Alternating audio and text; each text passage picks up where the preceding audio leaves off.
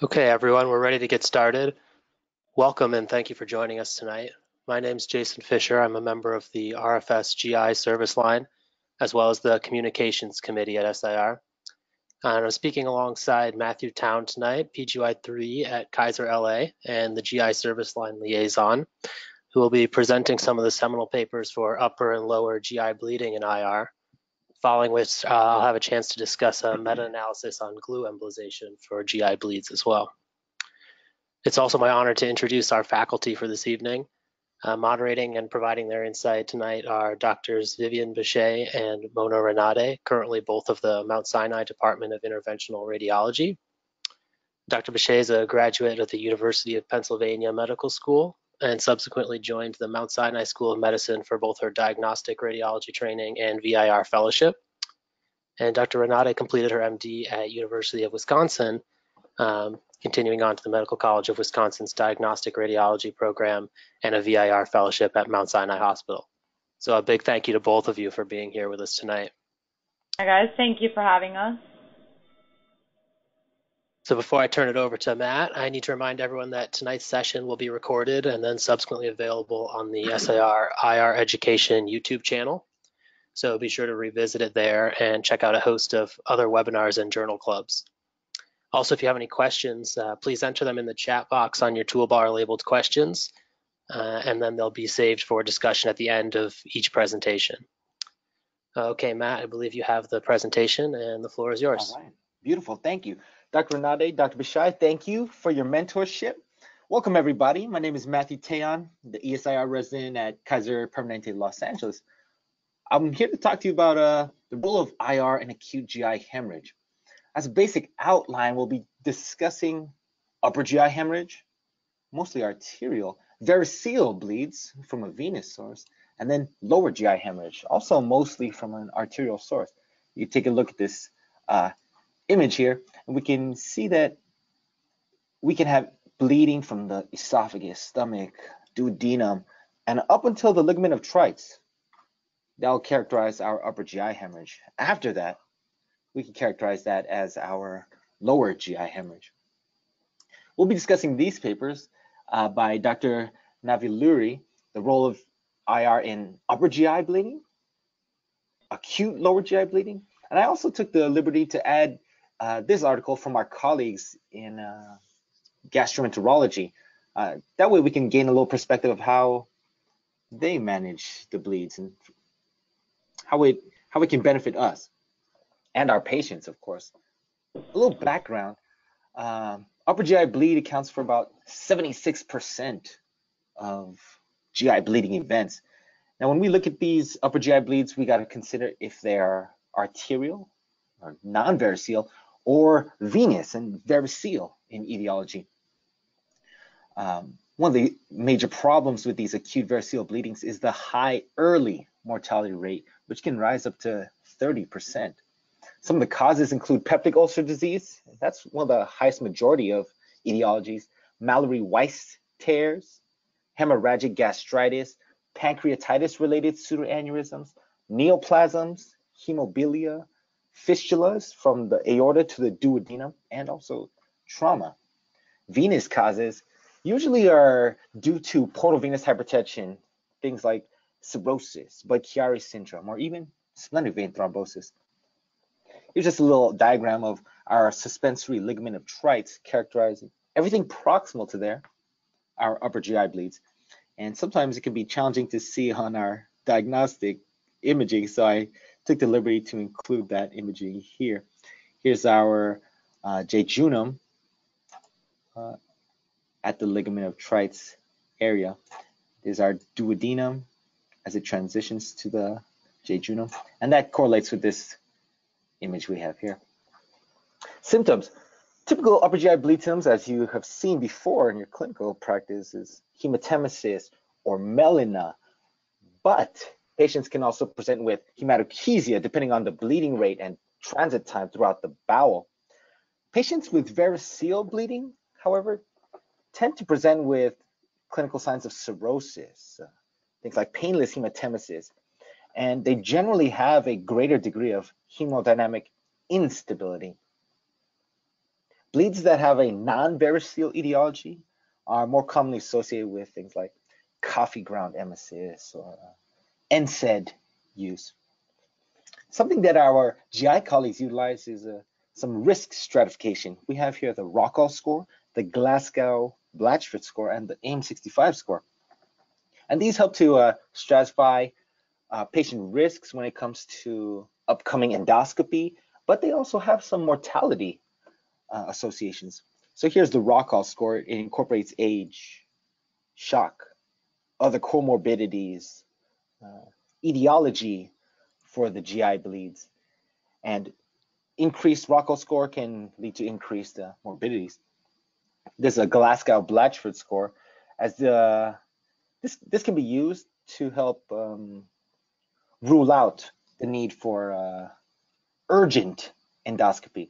So if you have patients with a Glasgow Blatchford score of zero or one, these patients generally do not require hospital admission. They can be safely discharged. They can get their endoscopy in the outpatient setting.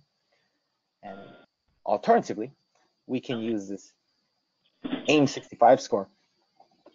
This AIM65 score utilizes age, systolic blood pressure, altered mental status, INR, albumin, and this is particularly associated with uh, in-hospital mortality rates. You can see as the score goes up, you can patients can have mortality rates as high as 24.5, 25%. So once we've risk stratified our patients, the first line treatment for upper GI bleeds would be medical management, stabilize the patient's blood pressure, fluid resuscitate our patients, get a type and cross, get those transfusion of blood products as soon as possible. Um, the goal is a hemoglobin level greater than or equal to seven.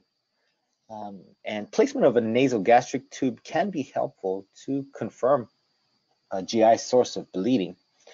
Here we have a radiograph which demonstrates the nasogastric tube below the level of the diaphragm in the expected location of the stomach. If, however, uh, you do expect a variceal bleed, an esophageal balloon catheter can be placed to tamponade these esophageal varices. Here we have an example of a Sengstaken Blakemore tube. This is a, a tube that can be inflated within the esophagus. Usually you can inflate about 150, 200 milliliters of air. Then you pull it back so it's stable in the cardioesophageal junction. This is usually a temporary solution to stop variceal bleeding. Should only stay in for about 24 hours, lest the patient have uh, uh, issues of ischemia. In when you're dealing with medical management, we got we must take into account patients who are on these direct oral anticoagulants and patients on the DOACs can have a 25 to 30% increased risk of GI bleeding. There are reversal agents for uh, a number of these DOACs, but we often have to get some lab values to indirectly quantify the DOAC levels before we reverse these. So reversal agents such as PCC, activated PCC, idarucizumab uh, can be used. And there's some others which are undergoing clinical trials. There's such as andexanet alpha. Um, in addition, proton pump inhibitors can reduce the rate of rebleeding, reduce the need for surgery, and reduce mortality. Uh, even in um, patients with uh, portal hypertensive type bleeds or variceal type bleeds, there's medications that can help. Uh, somatostatin, octreotide, or vasopressin. Now, we usually send our patients to endoscopy as an initial diagnostic intervention, twofold, because it can allow for localization of the bleed, but also treatment of the bleed. And via endoscopy, patients can be treated with thermocoagulation, sclerosing injection, or clips or banding. Uh, our endoscopy colleagues can utilize this Forrest classification uh, to evaluate the severity of disease and the risk of rebleeding.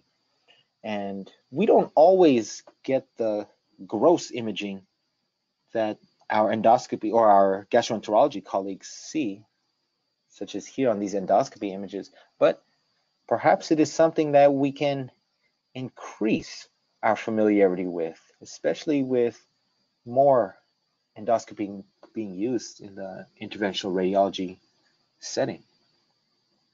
CTA, computed tomographic angiography, can be utilized and is very sensitive, up to 90% sensitivity, 99% specificity, and has an accuracy up to 98% in localizing these bleeds.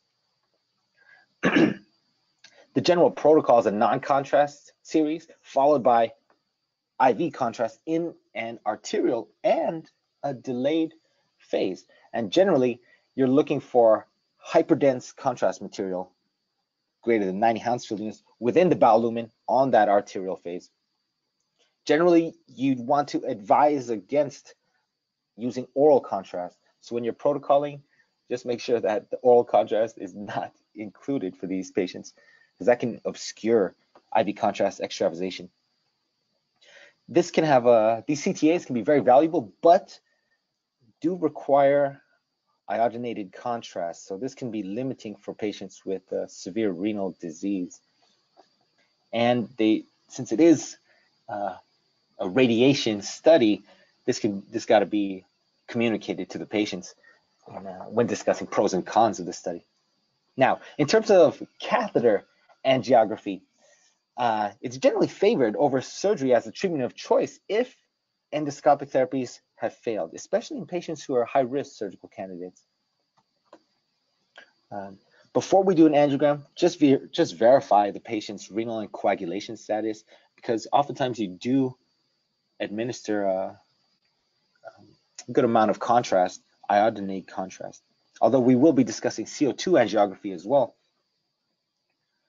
Um, so in terms of angiography, we should specifically target the suspected site of bleed. If we have a CTA or a prior intervention on hand, review of that can expedite the cases fantastically.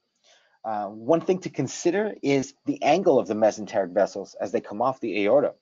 For example, if in this case, the celiac trunk and SMA are not, not too severely or not too acutely angled coming off the aorta, but if you did have a very challenging angle, you may want to consider a brachial approach as opposed to the common femoral artery approach. Just something to consider in terms of access pre-procedure. Uh, an angiography, a mapping aortogram can help survey the vascular anatomy before you start going selective or sub-selective. And oftentimes, uh, contrast extravasation is not visible on the mapping aortogram. Oftentimes, you've got to go a bit more selective or subselective to identify the bleeds. You may choose to administer glucagon as well to limit peristalsis, to limit respiratory motion uh, when you're doing these digital subtraction angiograms. And then different catheters can be used. Uh, the author of our paper here was recommending uh, RC1 catheters or VS1 catheters made by Cook. Uh, you may want to try Waltman's loop technique. Uh, but I think something that is highly high yield in this study, in this uh, paper, is the discussion of injection rates.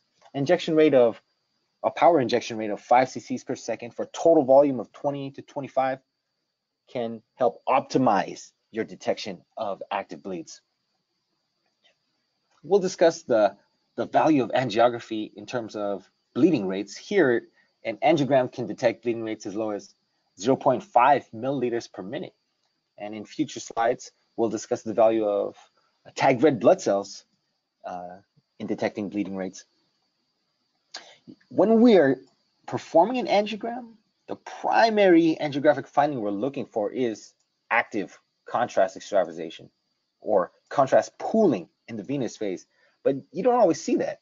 Other indirect signs of bleeding on angiogram include just identifying a pseudoaneurysm, vessel spasm or vessel cutoff sign, early venous filling, or even just hypervascularity in the region. Uh, here in CO2, angiogra uh, CO2 angiography, it's, it's a very sensitive modality and it has to deal with uh, the lower viscosity of CO2. This low viscosity of CO2 should predispose it to extravasating through endothelial injuries. However, uh, in reality or in practice, it may still be challenging to identify uh, extravasation using CO2. Generally, this is characterized as having poorer spatial resolution, but if you are stacking images, stacking your CO2 images, this can help um, in the sensitivity of your CO2 angiography. Uh, in addition, many, many times we do an angiogram and the upper GI bleed is not identified. And this may be due to an intermittent uh, disease process, intermittent bleeding. Uh, we may come up with a negative angiogram on our study, even though the patient is symptomatic and still decreasing in their hemoglobin levels. But this study demonstrates that no statistical difference in outcomes is shown when patients are treated empirically. Our patients are embolized empirically versus embolizing only after angiographically demonstrating contrast extravasation. What this is trying to say is that if you're in location highly suspected for a bleed, but you don't demonstrate definite contrast extravasation, you still may be able to perform empiric embolization and help the patient. There's different types of microcatheters that can be used. You know, this is really dependent on the facility you practice, but a Renegade or a ProGrade microcatheter uh, can be used to get selective. Uh, let's see. Furthermore, something to consider is uh, vasospasm and vessel tortuosity. When you're trying to embolize, the goal usually is to get both distal and proximal embolization. But oftentimes, those aforementioned vasospasm and vessel tortuosity may prevent you from getting that uh, distal catheterization. In that event, in the event that you do undergo vasospasm, you can either wait it out and let the vessel regain its caliber, or you can infuse 200 micrograms nitroglycerin into that affected artery. This is particularly important because vasospasm can mask bleeding in the target vessel. And if you administer your 200 micrograms of nitroglycerin, you can go ahead and reveal that bleeding. interestingly enough, if an artery has undergone vasospasm, it may reveal bleeding in an adjacent vessel. So there's pros and cons to, to having the vasospasm. Now, in terms of embolization, there's no definite evidence that say that one embolic agent is superior to the others, but there are multiple agents we can utilize. We can utilize coils, gel foam, particles, glue, and Jason will be discussing in depth the use of glue for embolization. Uh, we can utilize coils, and the author was recommending a gel foam sandwich in which he alternated between coils, a slurry of gelatin sponge, coils again to form a gel foam sandwich. And this can help decrease the amount of coils utilized, but also expedite the embolization. Uh, you know, something that's very interesting is that uh, oftentimes these patients are sick. They may have had prior surgeries, multiple comorbidities. And when you're dealing with embolization, embolized vessels can recanalize in the period of weeks to months, and they can form collateral vascularity. But in patients who've had prior surgery, such as Whipple procedures, they have altered vascular anatomy, and they may not have the collateral circulation that a patient without surgery may have. In cases like this, gel foam may be gel foam embolization for a GI bleed may be recommended over things like coils uh, because the patient does not have as much collateral circulation. Uh, when you're, you can also utilize particles for embolization. Uh, keep in mind that the the goal here is not necrosis of the bowel. We are really just trying to alleviate the increased arterial pressure or uh, decrease the bleeding but without causing organ necrosis. I'll leave the, the specific glue talk for Jason. And then in terms of the upper GI system, upper GI bleeds, vasopressin, uh, not so effective, but it is quite effective for lower GI bleeds, and we'll discuss that shortly. Lastly, after you have successfully performed your catheter angiogram, we got to make sure the patient is well cared for. So if the patient is on aspirin, it can be resumed, but after discussing with the rest of the multidisciplinary team, just got to verify that the cardiovascular risks outweigh the risk of rebleeding if the patient's on aspirin. Furthermore, there is a known interaction between proton pump inhibitors and clopidogrel. And even despite that, it still may be valuable to start the patient or continue the patient on a PPI, uh, even if they are taking uh, aspirin or Plavix. Outcomes, what are the outcomes once we have successfully embolized the patients? Well, generally technical success is up to 93%, clinical success, 67%, and you may have up to a 33% rebleeding rate that may require repeat embolization. Uh, one study even documented that upper GI bleeds can be more resistant to hemostasis than lower GI bleeds. So that would be something to consider uh, when go going into the procedure. And last but not least, a complication rate of about six to nine percent. These complications can go from you know, low-grade complications to high-grade complications. You can have access site hematomas, arterial dissection, contrast and nephropathy due to the amount of iodinated contrast used, non-target embolization, and even bowel ischemia or infarction. Next, we'll discuss variceal bleeding, as we said earlier, is due to usually elevated portal pressures. When you're dealing with these variceal bleeds, uh, something to keep in mind is that the risk of rebleeding is high in these variceal bleeds um, unless they are treated. Here we have an example of a cirrhotic liver portal vein that demonstrates some portal hypertension causing some splenic varices, some esophageal varices. Here on this coronal MIP, we can identify those esophageal varices as well, gastric and esophageal varices. In terms of endoscopic therapy, still these can be treated with sclerotherapy, variceal band ligation.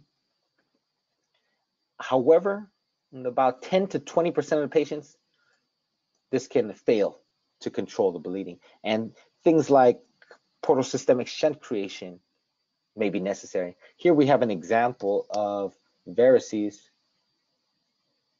originating off the portal vein, and then subsequent creation of a portosystemic shunt and flow preferentially diverted into that shunt and no longer filling those varices. And the goal is a portosystemic gradient less than 12. This is associated with a lower risk of re-bleeding. You can also uh, you can also perform balloon-occluded retrograde transvenous obliteration, BRTO, coil-assisted retrograde transvenous obliteration, CARTO, or even plug-assisted retrograde transvenous obliteration to block off these um, varices. Basically, what you're doing is placing a balloon, a coil, or a plug to control the blood flow and help with sclerosing, help with uh, uh, the embolization of those varices. But, you know, we can't just jump in and just embolize or block off the varices. Truly, if, if we're going to be successful with these transvenous obliterations, we got to understand each patient's unique anatomy, identify the hemodynamics. Where's that blood flow going in this particular patient? Uh, moving on to this last section, acute lower GI bleeds. Anything distal to the ligament of Treitz can be characterized as a generally as a lower GI bleed. Overall mortality rates for these is 2 to 4%, and they do account for 1 to 2% of hospital emergencies.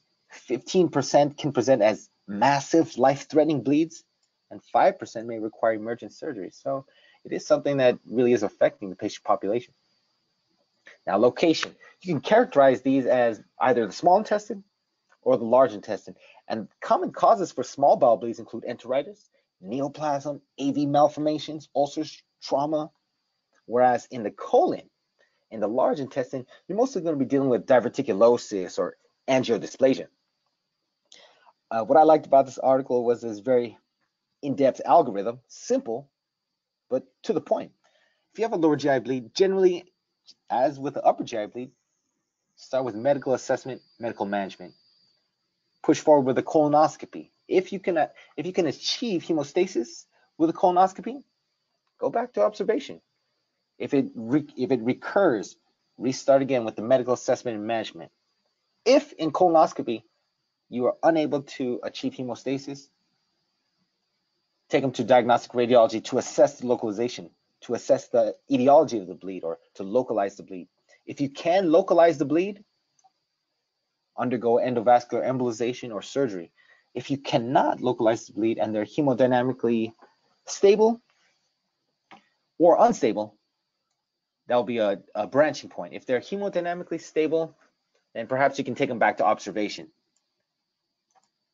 Take them back to observation, hemodynamically stable. However, if not, even if you have not localized the bleed, you may want to take the patient to endovascular uh, diagnosis and therapy and or surgery. Now, in terms of localizing a bleed, no single lower GI endoscopic technique can see the entire length of the uh, lower GI tract. Colonoscopy, limited to the colon, terminal ileum. You can use double balloon enteroscopy. That only show 50 to 120 centimeters proximally within the, the jejunum.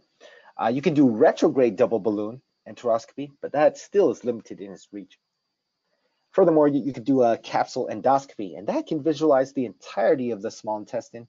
Very sensitive, very specific, but doesn't offer an intervention specifically, but it does help you localize the bleed. This is, demonstrates the limitations or the strengths of a colonoscopy and helps to identify all different etiologies of a possible bleed. This is something you may see when interpreting a small bowel capsule enteroscopy, double balloon endoscopy. These are the tools that may be utilized. And as we mentioned earlier, we foreshadowed, nuclear medicine, a tagged red blood cell scan can be very helpful. It can detect bleeding rates as low as 0.2 milliliters per minute compared to hmm, 0.5 milliliters per minute for angiography. And something that's very helpful is that it can be utilized to evaluate the bowel over a multiple hour window, therefore increasing the sensitivity. Here's an example of a positive tag red blood cells scan. We have accumulation of radio tracer outside the blood pool. And if we continue to watch it, it should be moving within the lumen of the bowel. Embolic agents are very similar to upper GI bleeds, coils, gel foam particles, glue, with the similar risks and benefits as we previously described. But something that's very helpful in lower GI bleeds and it can be very successful is vasopressin.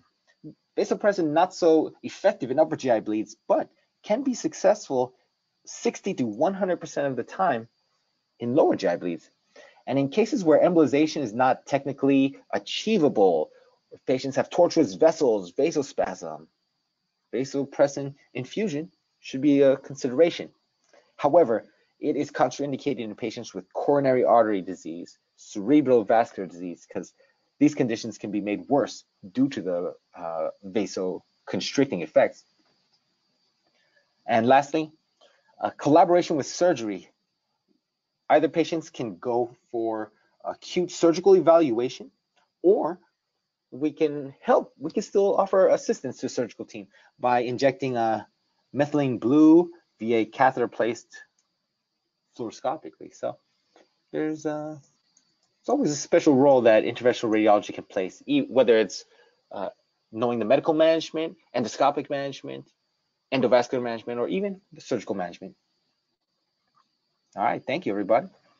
Appreciate your attention and your your your time.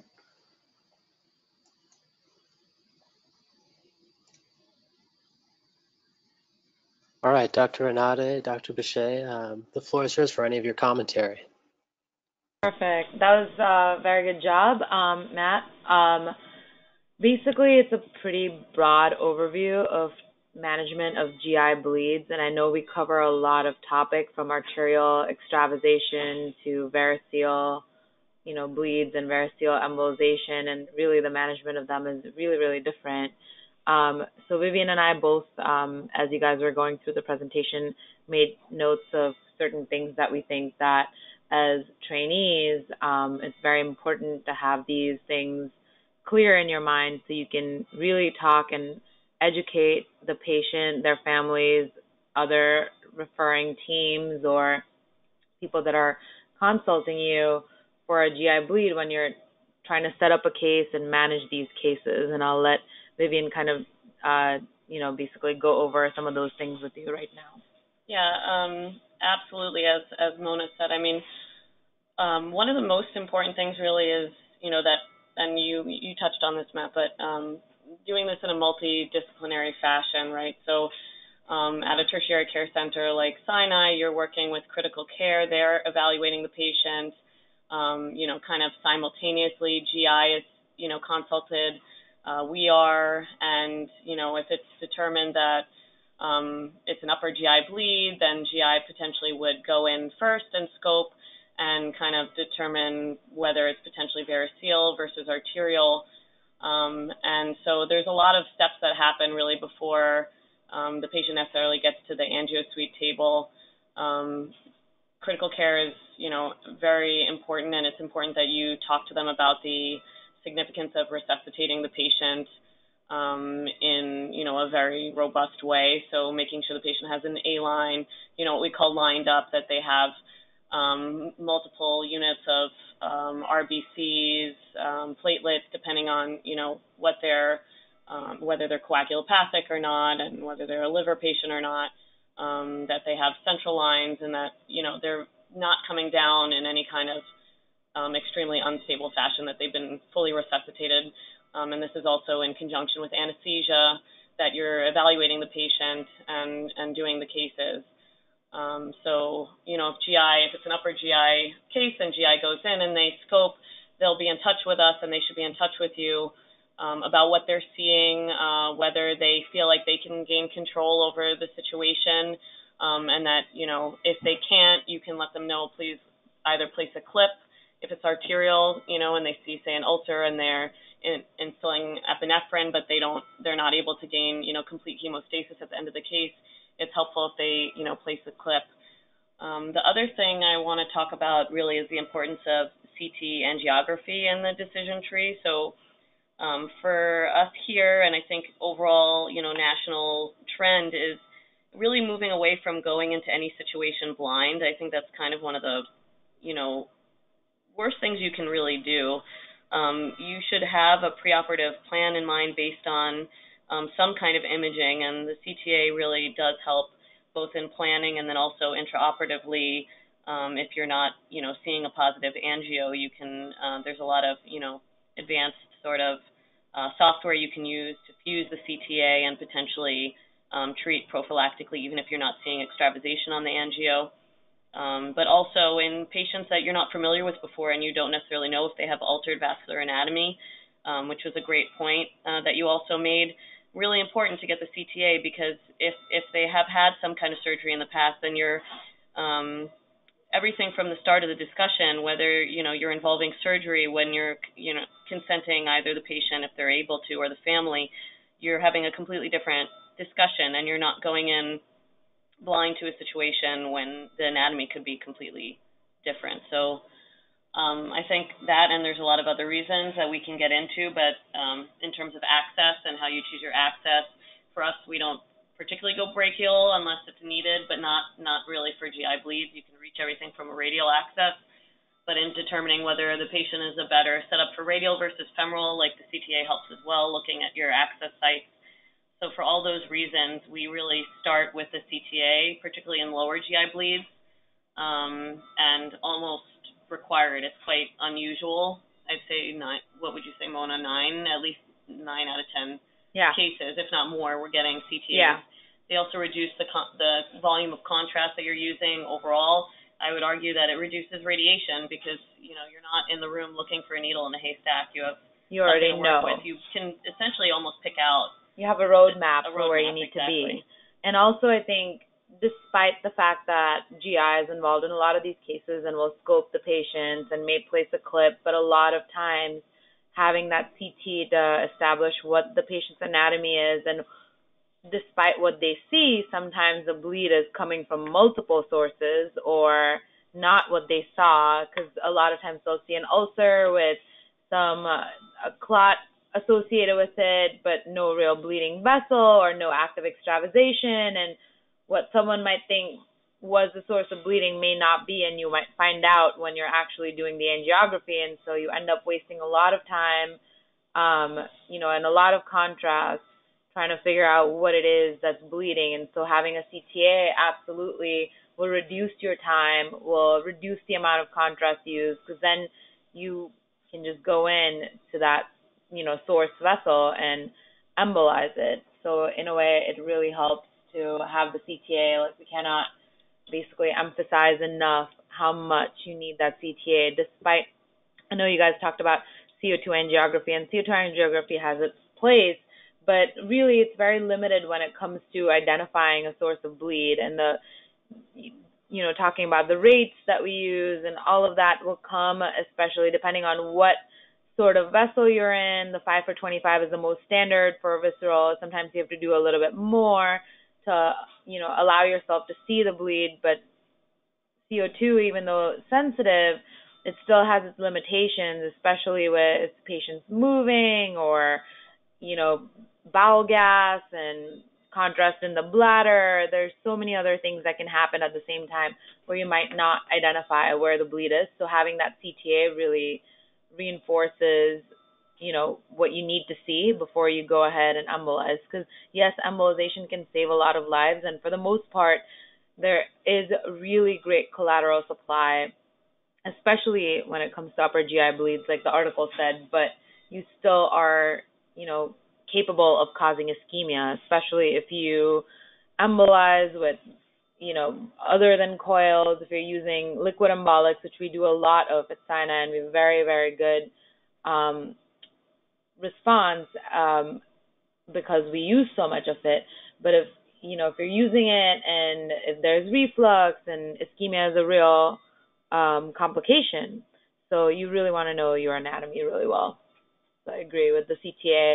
Um, you also touched base on uh, TAG red blood cell scan. Yes, having some sort of scan, having some sort of idea of where the bleeding is coming from is necessary, but um, I think these days we just bring the patient to CTA. Yeah, I would argue that it's somewhat of an obsolete study and, and that it can be used in patients, say, that are having recurrent bleeding and then we're not seeing it on CTA and you know they're say transfusion dependent when they're having their bleeds and it's sort of a diagnostic conundrum in those cases you could potentially go to a tagged RBC or or do the tagged RBC in conjunction with the CTA and kind of look for like an vascular malformation you know of some kind.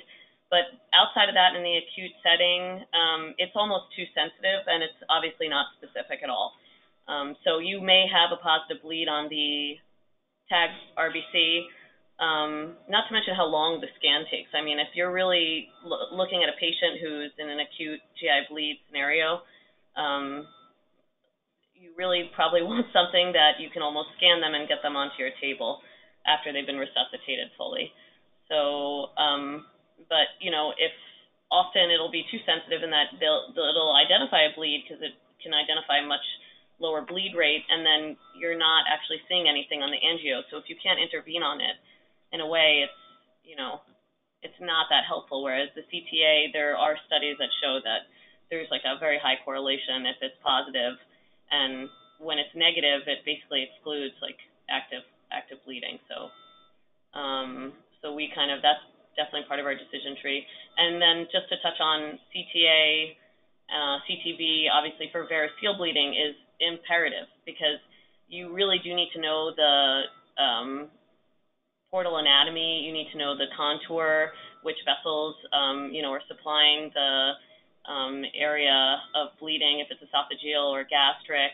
You need to know if the um, portal vein is thrombosed, um, what the hepatic vein contour is like. So in those, that a lot of you know, preoperative planning should go into it if you're um, if in any way able to uh, before you go into those cases. So. And no matter how unstable the patient is, if the patient's you know unstable to be brought to CTA and then they're unstable to be brought to IR, and those are the patients that we're seeing, especially in a GI bleed setting. So it's very, very, very important that we stress that you need to get some kind of pre-op imaging because you have to have an idea of what you need to go in with because there's I mean, we haven't even touched the subject of variceal bleeding, and there's so many different things that you have to consider: the sizes of catheters, what kind of you know embolic agent you want to use, if the patient requires a tip versus a BRTO. That's a that's basically um, you know should have a own if you webinar of its own. Yeah, I mean, exactly. if they don't have a splenorenal shunt, then you can't do a BRTO. So you need to know that going in. Um, just going back to arterial bleeds, so we talked a little bit about um, you know what we do for upper GI bleed. A lot of times you'll see that you're also consulted for bleeding um, AVMs, um, small bowel AVMs, which is technically could be considered upper GI.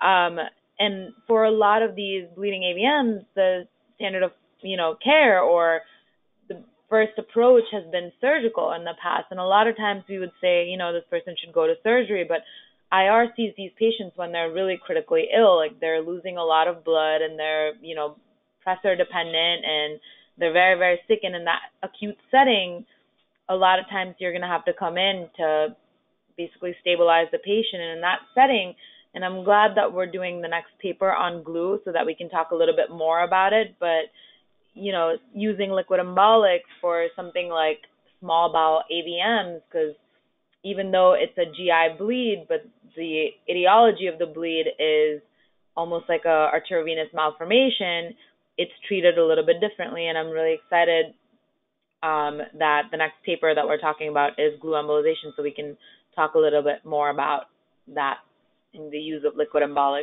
in GI bleeds.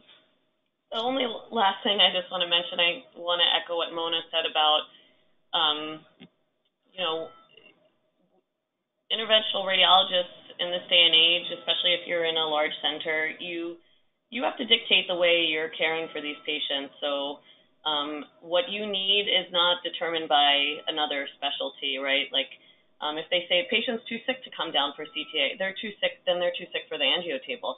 And I would say they should be stabilized. You can, of course, you can coordinate it to have the angio done, the CT angio, and then bring the patient over to the table. But that argument of no, um, we don't want to give them contrast and their renal function, if they're in a state where you know they're so unstable from bleeding, then you're going to have to weigh that against the renal function, and in fact, you're going to end up using less contrast if you get the CTA. So um, it's important to have those discussions with and kind of move the other teams in an, in a direction where they understand where you're coming from, that you're doing it for the patient. It's not because you're trying to delay care and come in later, but that this is actually, in fact, and educate them why um, these are the things you need, you know. And uh, so if someone says, "Oh no, you don't, you don't need that," that's I'm sorry, you're you're a surgeon, you're an interventional radiologist, you don't just determine what the surgeon needs, so they shouldn't really determine what you need.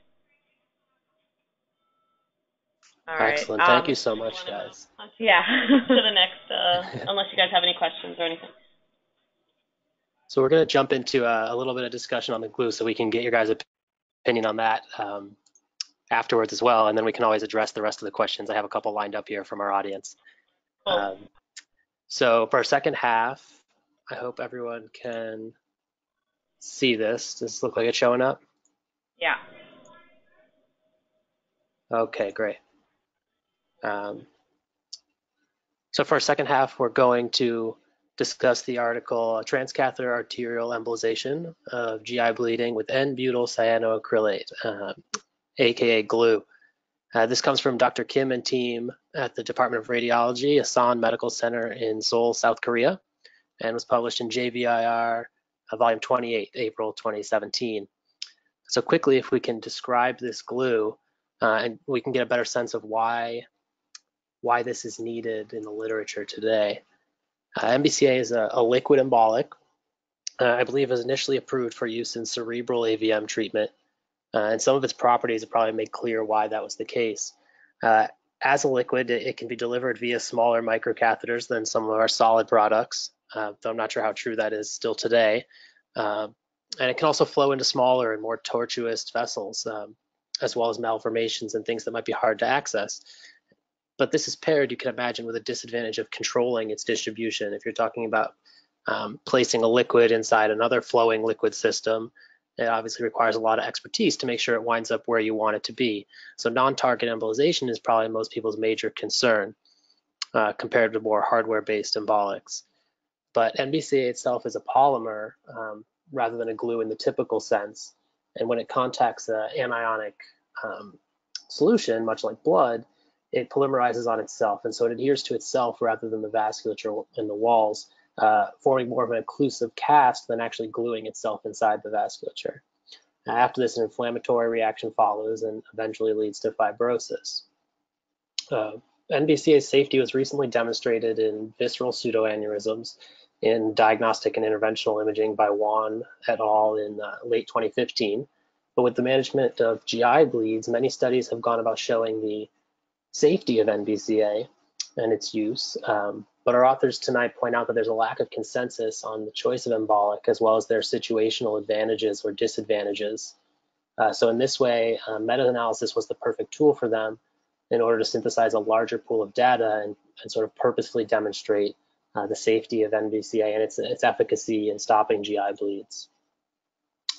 Uh, so we should touch on meta-analysis in general. This is an approach used to derive a weighted estimate from the results of a number of similar studies, and the goal being to increase the statistical power compared to any of usually smaller individual studies. Um, but the fact that these studies included uh, are similar is most crucial because this is where you're building the foundation for the pooled results that you want to show. Um, and we're going to see some of the steps that the authors take great care to include uh, to make for a particularly robust review on the topic. So if we move right into our manuscript, I wanted to start out with just some quick highlights because the density of some of the numbers in the middle section we're going to see can make it easy to sort of lose sight of the clinical objectives that we want in reviewing this paper. So working backwards, we're going to see that NBCA is comparable with standard techniques in GI embolization. We'll see it brings with it variables that predict both an incidence of rebleeding as well as 30-day overall mortality and we'll also discuss some disadvantages the authors face to using this type of study and, and hopefully be able to carry that forward when we read and, and work uh, by ourselves in the future. Um, the study starts out with a thorough literature review. Um, and the methodology for doing so was searching via Medline PubMed and Embase databases between 1990 and 2016. Um, and then initial screening was performed to immediately remove case reports, review articles, uh, letters, and editorials, uh, and standalone conference abstracts. Um, the full text was evaluated against uh, a whole series of selection criteria, but mainly these included non-variceal bleeding, treatment with embolization NBCA, uh, NBCA embolization alone, or in conjunction with other embolics. Studies that were published in English with greater than five patients uh, had no data included in subsequent articles, and the presence of extractable data for the authors to use. And you can see some of the sample um, reasons that many of the studies were lost in exclusion. Um, it's important to note the review was performed independently by two experts in the study and a third reviewer was used to discuss any discrepancies. Um, and after an initial search led to 288 unique articles, uh, screening whittled that down to 34 papers, uh, of which 15 were chosen against the complete selection criteria to work with.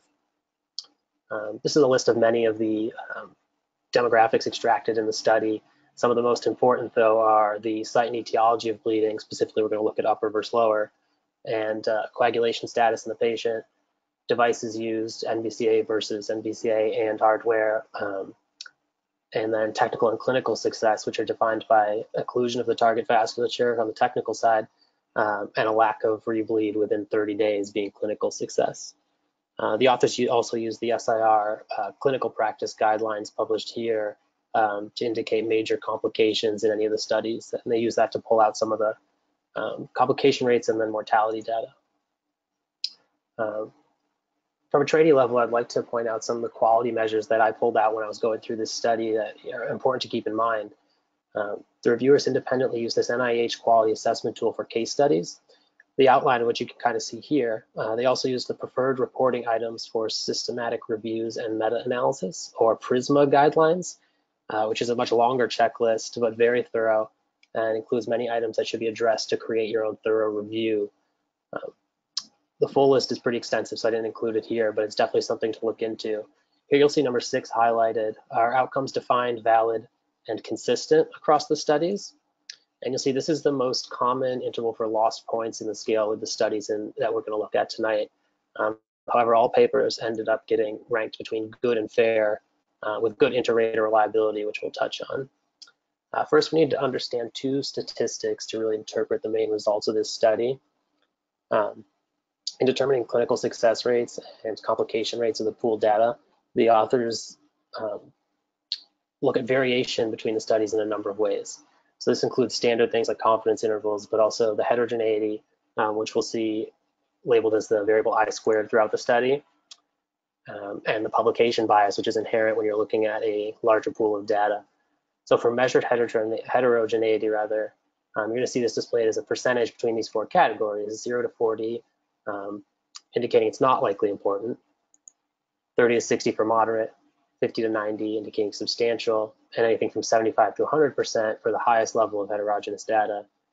So there's plenty of overlap here, and you can see it's a bit of a subjective interpretation uh, to some extent, but we're going to use it to kind of evaluate the outcomes um, and the, the regression analysis of the 15 studies that we mentioned. And then publication bias, this is going to indicate whether or not uh, the decision to distribute a study that one might complete is influenced uh, by the results in the study. Um, this can be important, especially in meta-analysis where you're gathering such a large sample of the literature. Uh, these studies, if publication bias comes into play, may have been published, let's say, with all positive results, and that might skew the new pool of data that you're creating in one direction before you even have a chance to analyze it yourself. Uh, so in other words, it's just as important as making sure that you're matched well on all the usual variables like age, gender, uh, whatever you're looking at. Uh, so you can see this indicated here by capital P and is considered significant at any value less than 0.1. So that's a lot for just two simple variables, but they're going to come up again and again, and, and that should be enough that we can jump into the results. Um, as we mentioned, they started with a pool of 288 studies uh, and ended up with a remainder of 34 eligible papers. 19 were removed for many of the reasons we discussed in the first couple slides. Uh, leaving 15 full criteria studies. Uh, this value added here, kappa, this is Cohen's inter-rater or inter-rater reliability statistic, uh, where a value of one would be complete agreement. And here we see 88%, which is near perfect agreement between the independent raters on the decision of which studies should be included. Uh, and as we mentioned, all those studies were rated either good or fair, uh, ranging between four out of nine to six out of nine for fair, and seven out of nine to nine out of nine in the NIH uh, questionnaire. And here the inter-rater reliability was around 72%, uh, which is indicated as substantial.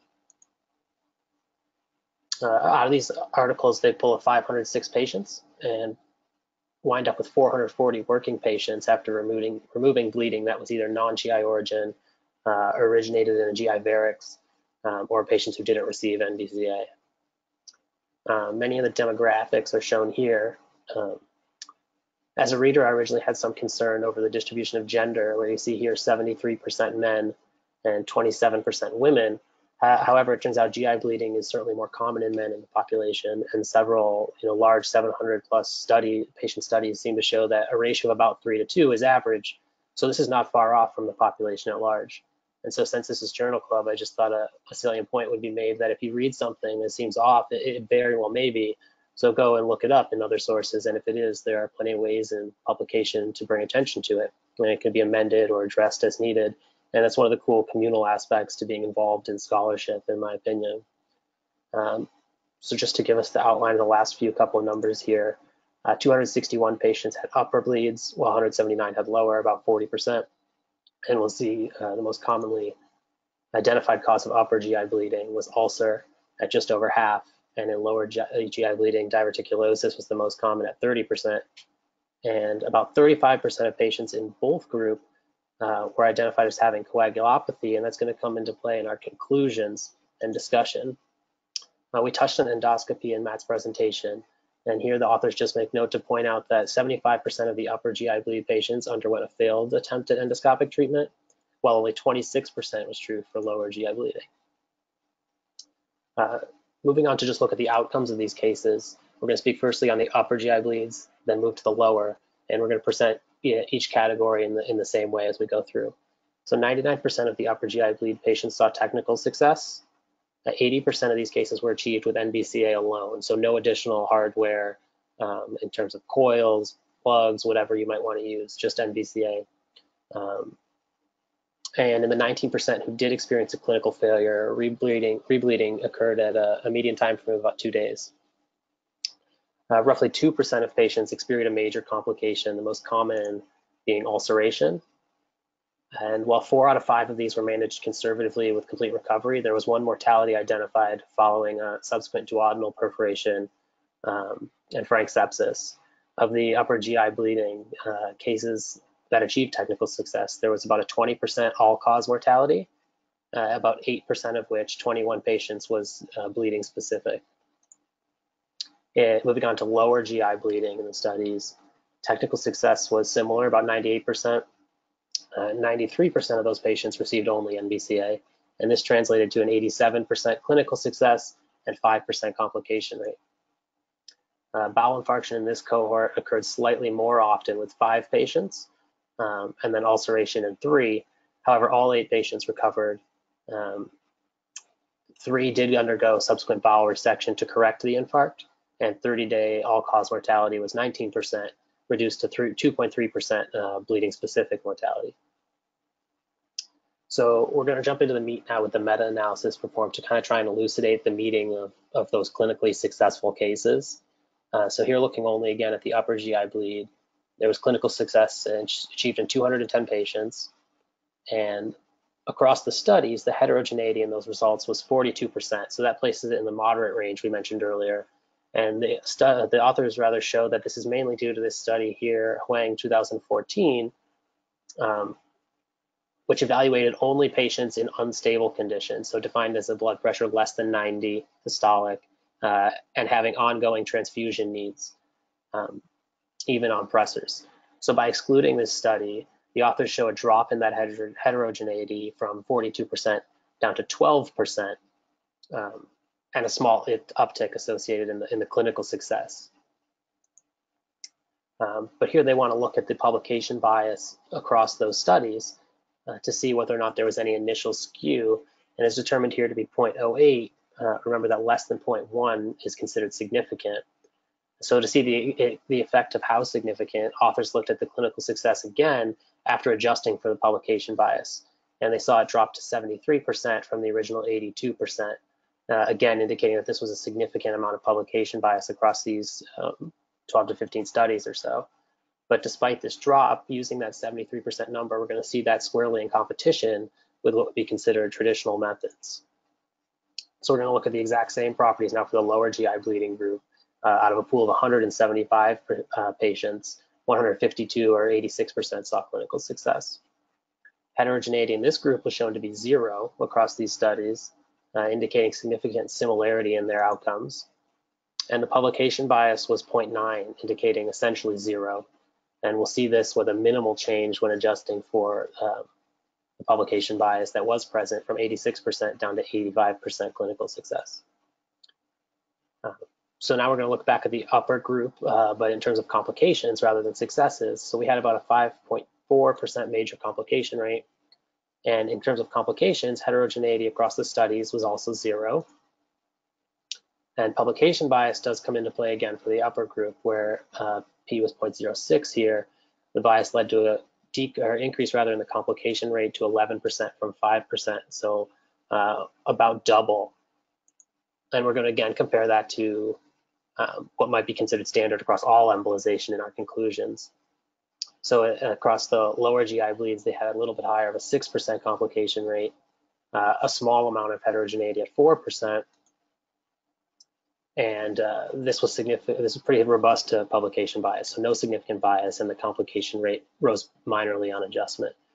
Um, I'm gonna speed through some of the rest of this here to keep us on track. Um, but the authors then jump into their regression and 30-day mortality analysis. Uh, so the authors found that only 117, or about 26% of the patients they found across these studies had extractable individual patient data. Now that's obviously a huge problem uh, if you're looking at only a quarter of your patients having data to do um, mortality regression on. They were able to bump that up to about 70 70% of patients, however, by contacting the authors directly uh, and having them put forth the data. So it really goes a long way in terms of um, completing your study to reach out to people like this and try and pull data where you can instead of just running into the barrier and, and uh, not having somewhere else to go with it, I suppose. Uh, just to compare the groups, we can see that they're well matched on age and gender. Uh, however, the site of bleeding uh, was 68% upper GI compared to 38% uh, in the, the, excluded patients versus the included patients, that 70%. Uh, and lower GI bleeding made up about 31% of the new group for 62% of the excluded patients. Um, the only other major point to mention here is that coagulopathy also differed. Uh, in 33% of the regression group, it was persistent, uh, while 49% of the excluded patients had coagulopathy. But that 33% here is fairly close to the 35% in the uh, initial patient pool. So out of this new 307 patient group, uh, we then saw a clinical failure rate of 17%, 30-day uh, mortality of 19%, and a bleeding specific mortality of 7%. Uh, regression analysis was then performed and, and, highlighted the coagulopathy factor as the only independent predictor of clinical failure in these patients. So with an odds ratio of 2.2, uh, it's possible to say that having a coagulopathy, some type of coagulopathic process, might be a predictor of uh, clinical failure or rebleeding within 30 days. And in the discussion, we're going to talk about why that's important specifically with regard to glue. Um, there were three other factors determined to be predictors of 30-day mortality, not just uh, clinical failure. The site of bleeding had a ratio of 2.7, uh, coagulopathy again had a ratio of 1.9, and any clinical failure occurring, any rebleeding within 30 days had an odds ratio of 6.7 um, regarding 30-day um, mortality rates. So there's the, the meat of this article, and it's definitely a lot for a few slides, but we need to sum it up in terms of that clinical context. Uh, so we're going to turn to our discussion for that. Um, and to summarize the main findings, we can point to, uh, point to four major results. Uh, the cases where technical success was achieved, the pooled success in upper GI bleeding was 82%, and major complication rates were 5%. In patients with lower GI bleeding, there was 86% success and 6% uh, complication rate. Next, coagulopathy was shown to be an independent predictor of clinical failure for a patient with an odds ratio of 2.2. And finally, three endpoints were predictors of 30-day mortality, coagulopathy, uh, site of bleeding, and clinical failure. So as with any article you want to discuss, you should give deference to not only these results, but highlighting the inherent weaknesses or strengths of the project. Uh, some of the strengths inherent here in the project were this comprehensive statistical method that the authors put forth. It was very thorough, uh, and it built off a very thorough literature review. Uh, some of the critiques, however, you probably noticed as we went along, uh, inherent in any meta-analysis, the authors carried forward many of the criticisms of the studies that they used. All uh, included articles were retrospective case studies. They included relatively small samples individually, uh, and we pointed out that a number of them had missing areas of data, even though a lot of this was collected um, on the back end. Uh, also, these defined outcomes across the studies were not standard. We saw that in their NIH quality assessment scales, that, that question six. Um, so follow-up data was also a little bit sparse. Most of the original articles only recorded data through hospital discharge because remember they were retrospective series uh, as somebody was looking back at charts and review. Uh, so this leads to an underreporting of anything that could be considered a late complication. Particularly, um, the example was given of uh, induced ulceration, but also things like intestinal stricture, or even also ulcerations that wouldn't have been caught in that patient's later hospital course. Um, fourth, there's a substantial publication bias, and we talked about why that uh, may skew some of the interpretation you want to make. So let's look back at the conclusion data just once more, uh, this time with comparison. So here the clinical success, we saw 82% in upper GI bleeding and 86% in lower GI bleeding. Uh, these were shown to be similar to those for coil embolization, which are reported between 65 and 75% for upper, and 88 to 91 for lower. Uh, we see that clinical success in lower is only borderline outside of that reported data, so you could take that with a grain of salt. Uh, and these groups are also similar to clinical success for embolization on the whole at 51 to 82% for upper and 65 to 86% for lower. Um, looking at major complication rates, upper GI, which was 5.4% and adjusted up to 11%, almost double after publication bias, and lower, which was 6.1, adjusted to 7. These are both well within the range for reported arterial embolization in general, uh, which is up to 10% and in upper GI bleeding and up to 12% and lower. So the authors suggest here that while a risk of ischemic complications is certainly a large concern, uh, the occurrence may be no higher than any other common products. And like anything, uh, user expertise is obviously the driving factor. The lack of long-term follow-up here, however, does mask possible late occurring complications like we, like we mentioned. Um, so glue demonstrated no increase in clinical failure rates when it was used alone and suggests that NBCA used in conjunction with other methods, uh, say on top of coils, for example, may not lead to any further reduction in recurrence. Um, the rate of clinical failure in the coagulopathic patients was 34%, well below the 45 to 64% reporting for the arterial embolization in general. But uh, this suggests that rebleeding with glue may be lower. However, there's no clear delineation whether this recurs from this recurrence occurred from recanalization uh, of the embolized sites versus the newer vasculature. Um, furthermore, the coagulopathy itself being an independent predictor of clinical failure when using NBCA alone uh, contradicts the notion that because it doesn't rely on the patient's cascade, remember we talked about how it's an inherent polymer, uh, that kind of combats the risk of recurrence in, in coagulate, coagulopaths, right? If you're not trying to activate part of their cascade, which is already failing for one reason or another. Uh, but based on the data here, we see that that could be a bit of a misnomer that certainly deserves additional investigation uh, and would flesh out the literature a bit more. Um, and I think that's all I'll have for you on NBCA and its use in GI bleeds. Um, but let me first give a sincere, sincere thank you to all of our faculty, uh, Dr. Ranade and Dr. Bishay. Uh, having these attending mentors, having you guys here and participate in projects like this is really crucial to the RFS, but it really makes for uh, great outreach and learning materials for the trainees too, especially when you can look back and see these on things like YouTube. Uh, and thank you to everyone who stuck it out for the presentation tonight. I know we're touched uh, touch over nine o'clock, um, but we can certainly still go over any questions for the panel if they have time. Uh, and, and, if not, I can certainly field any on, on the paper, and uh, we can spend a few minutes dealing with those now. That was excellent. Um, you summarized the whole paper really well, Jason. Um, thank you for having both of us. We have a few um, points we want to make about using glue because obviously if you followed us on Twitter, you know Mount Sinai is all about radial first and all about glue embolization, and it it's more than just for pretty pictures that we post on Twitter. It's usually there's a lot of advantages to glue, and the reason that we prefer to use it is because when we see a lot of these patients, um, a lot of them are in DIC or they're coagulopathic. So they may not naturally just have low platelets, but it's because of, you know, the GI bleed that they're having and they're losing a lot of their blood and they're not adequately resuscitated and their body goes into this, you know, basically uh, consumptive coagulopathy. And in those cases, with patients with INR of, you know, five or more, or platelets that are really low, um, glue embolization basically allows us to still go ahead and treat these patients effectively. Um, especially because, as you mentioned, the glue polymerizes as soon as it hits blood and doesn't really depend on your body's coagulation cascade to um, form clot to have successful embolization.